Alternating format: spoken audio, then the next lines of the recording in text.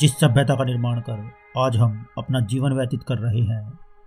इस तरह के रहन सहन का ढंग और जीने के तौर तरीके आज से हज़ारों साल पहले सिंधु घाटी सभ्यता के लोगों द्वारा पहले ही किया जा चुका था।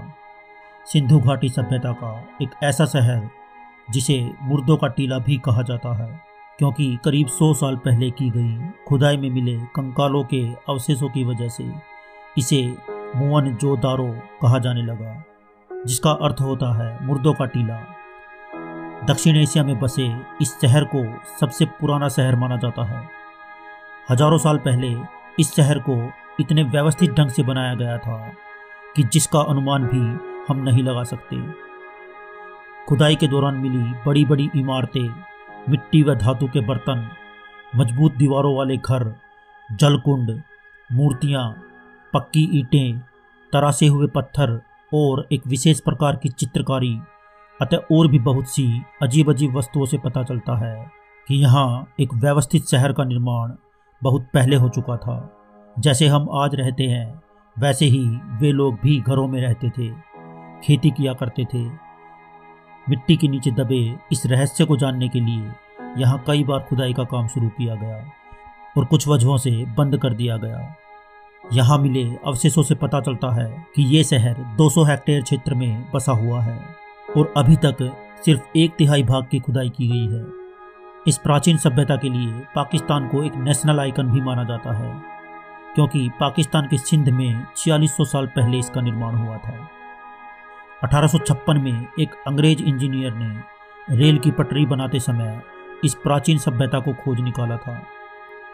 रेलवे ट्रैक बनाने के लिए ये इंजीनियर पत्थरों की तलाश कर रहा था, जिससे कि वो गिट्टी बना सके। यहाँ उसे बहुत मज़बूत और पुरानी ईंट मिली, जो बिल्कुल आज की ईंट की तरह बनी हुई थी। पास के इलाके के एक व्यक्ति ने बताया कि सबके घर इन्हीं ईंटों से बने हैं, जो उन्हें खुदाई में मिले हैं। तब इंजीनियर समझ गया कि ये जगह किसी प्राचीन शहर के इतिहास से जुड़ी है। इसी इंजीनियर को सबसे पहले सिंधु नदी के पास बसी इस सबसे पुरानी सभ्यता के बारे में पता चला था। इसलिए इसे सिंधु घाटी की सभ्यता कहा गया है। इस प्राचीन सभ्यता के समय एक और प्राचीन सभ्यता भी थी, जो इजिप्ट, ग्रीस में थी। यह बात पुरातत्ववेताओं के द्वारा कही गई है। सिंधु घाटी सभ्यता 2600 से 3000 ईसा पूर्व तक रही थी। इस प्राचीन सभ्यता में कुछ अर्बन सेंटर थे, जैसे मोहनजोदारो, हड़प्पा, लोथल, कालीबंगन, धोलावीरा, रखीगार थी। मोहनजोदारो इन सब में सबसे अग्रिम शहर था। उस समय ये सबसे बड़ा व व्यवस्थित शहर माना जाता था। इसलिए पुरातत्ववेताओं ने इसकी सबसे पहले खोज शुरू की व इसके बारे में अधिक से अधिक जानकारी इकट्ठी की। इसके बाद हड़प्पा ऐसा शहर था जो व्यवस्थित ढंग से बसा हुआ था व जिसको अग्रिम ढंग से बनाया गया था। मोहनजोदारो को देख ऐसा लगता है कि ये शहर किसी सफल इंजीनियर ने बनाया होगा। लेकिन इसे अर्बन कारीगर ने बनाया था।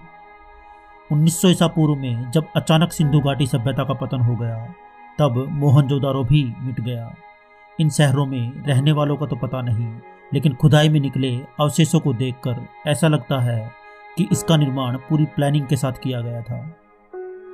शहर के चारों ओर पक्की ईंट की मोटी दीवार बनी हुई है, जो कि रक्षा के लिए बनाई गई थी। उस समय भी लोग पक्की ईंटों से बने घरों में रहते थे। जो कि तीन तीन मंजिल के बने हुए थे। कुछ घरों में बिल्कुल आज ही की तरह बनाए गए बाथरूम भी मिलते हैं, जिसमें पानी की निकासी के लिए नालियाँ भी थी। दुनिया में पहली नाली का निर्माण यहीं से हुआ था। पुरातत्ववेताओं के अनुसार उस समय के लोग खेती भी किया करते थे। उन्हें गेहूँ व चावल उगाना अच्छी तरह आता था। वे लोग जानवर भी पाला करते थे। खोज के दौरान पता चला था कि यहाँ के लोग गणित का भी ज्ञान रखते थे। इन्हें जोड़ना, घटाना, मापना सब आता था। जो ईट उस समय अलग अलग शहरों में उपयोग की गई थी, वे सब एक ही वज़न व साइज़ की थी। जैसे मानो इसे एक ही कंपनी के द्वारा बनाया गया हो। पुरातत्ववेताओं के अनुसार सिंधु घाटी सभ्यता के लोग गाने बजाने व खेलने कूदने के भी शौकीन थे। उन्होंने कुछ म्यूज़िक इंस्ट्रूमेंट तथा खिलौने भी खोज निकाले थे। वे लोग साफ़ सफ़ाई पर बहुत अधिक ध्यान देते थे। पुरातत्ववेताओं को कंघी, साबुन व दवाइयाँ भी मिली हैं। उन्होंने कंकालों के दांत का निरीक्षण भी किया था, जिससे पता चला कि वे नकली दांत भी इस्तेमाल किया करते थे। मतलब प्राचीन सभ्यता में डॉक्टर भी हुआ करते थे। खोजकर्ताओं ने बहुत सी धातुओं के गहने व कॉटन के कपड़े भी खोज निकाले थे। ये गहने आज भी बहुत से संग्रहालयों में रखे हुए हैं। इसके अलावा बहुत सी चित्रकारी मूर्तियाँ, सिक्के दिए, बर्तन, औज़ार आदि भी मिले थे, जिन्हें देश विदेश के संग्रहालयों में रखा गया है।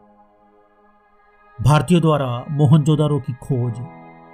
1922 में राखलदास बैनर्जी ने, जो कि पुरातत्व सर्वेक्षण के सदस्य थे, उन्होंने पाकिस्तान में सिंधु नदी के पास खुदाई का काम किया था। उन्हें बुद्ध का स्तूप सबसे पहले दिखाई दिया था। जिसके बाद आशंका जताई गई कि यहाँ नीचे कुछ इतिहास दबा हुआ है। इस खोज को आगे बढ़ाते हुए 1924 में काशीनाथ नारायण व 1925 में जॉन मार्शल ने खुदाई का काम करवाया। 1965 तक इसे भारत के अलग अलग लोगों की कमांड में करवाया गया। लेकिन इसके बाद इस खोज को बंद कर दिया गया और कहा गया कि खुदाई की वजह से प्रकृति को नुकसान हो रहा है।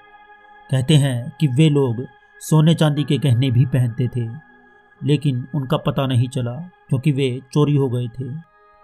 कहा जाता है कि प्राचीन सभ्यता में 50 लाख के आसपास लोग रहते थे। एक दिन अचानक भूचाल आ गया, जिसकी वजह से सब कुछ तहस नहस हो गया।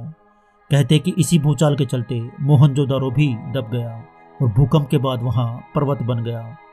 कुछ खोजों के ज़रिए पता चलता है कि उस समय वहाँ रहने वाले लोगों के दुश्मन भी हुआ करते थे।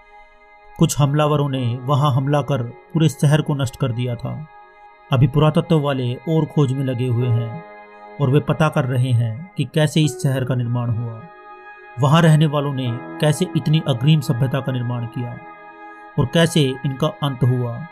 इन सब सवालों के जवाब के लिए पुरातत्ववेताओं की खोज आज भी जारी है। खुदाई के दौरान कुछ लिपिक भी मिले हैं, जिससे सिद्ध होता है कि इनको पढ़ना लिखना भी आता था। दुर्भाग्यवश पुरातत्ववेताओं को वह लिपि आज तक समझ नहीं आई है। जिस दिन उनको वह लिपि समझ आ जाएगी, उस दिन मोहनजोदारो के बहुत से रहस्यों का पता लगाया जा सकेगा। उम्मीद है आपको यह वीडियो अच्छी लगी होगी। वीडियो को लाइक करें और यदि आप इस चैनल पर नए हैं तो चैनल को सब्सक्राइब करें, ताकि आपको हमारी आगे आने वाली वीडियोज़ की अपडेट्स सबसे पहले मिलती रहे। तब तक खुश रहें खुशहाल रहें। जय हिंद जय भारत।